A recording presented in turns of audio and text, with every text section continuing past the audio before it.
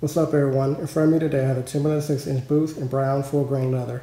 I pay about $160 for them, but I'm sure if you shop around you can find some amazing discounts and promotional offers. As we take a look at them, you can see that these boots have a classic design with a sealed waterproof construction. There's premium leather along the lining of the boot as well as the padded collar for comfort. And the outer sole is made of a rubber material for traction and durability.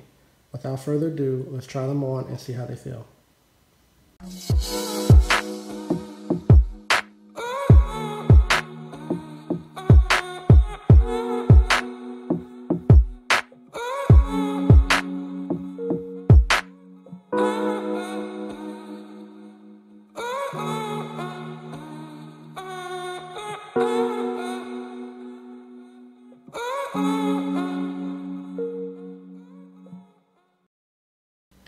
Alright, so in my opinion, these are a great pair of boots. They're stylish and rugged, so you can either wear these during casual or outdoor activities.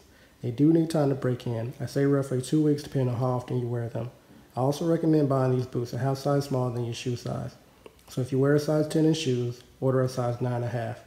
Overall, the color, look, and feel of these boots are amazing. They're made of quality material that you'll have no problem wearing all day.